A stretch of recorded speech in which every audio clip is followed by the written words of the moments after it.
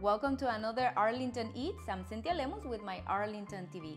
If you are in charge of the Thanksgiving dinner and you have no idea how to cook the turkey, stay with us because in this episode we're gonna share with you a homemade recipe that your family is gonna love. Cooking the Thanksgiving dinner can require a lot of work, especially if you have a big family. We had a big Thanksgiving a couple years ago um, before the shutdown and everything, and I needed to cook two turkeys in a small oven.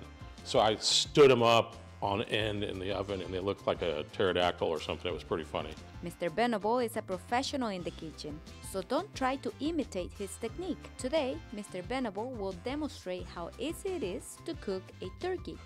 So what we're going to do today is we're going to start off with the plain old butterball, you know, about 13 pounds, a good enough for a good family of four. And then uh, what we'll do is we're going to make a brine.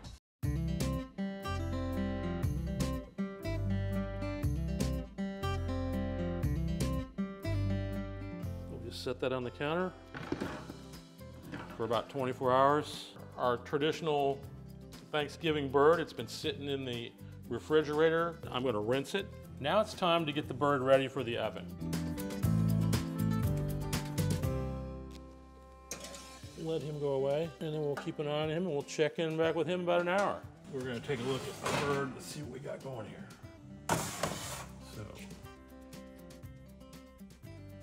it's almost where we need to be.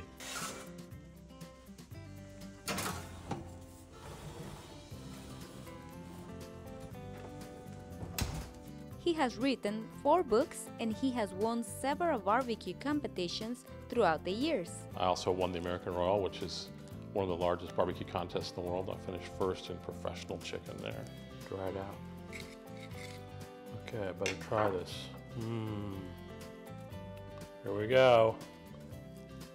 Oh man.